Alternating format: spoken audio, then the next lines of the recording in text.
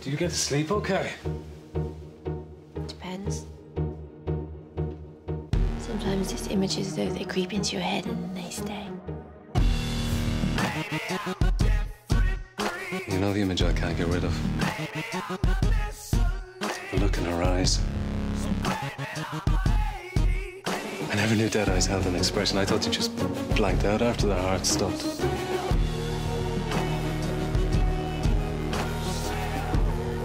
Why would one human being inflict so much agony on another? What makes them that way? Madness.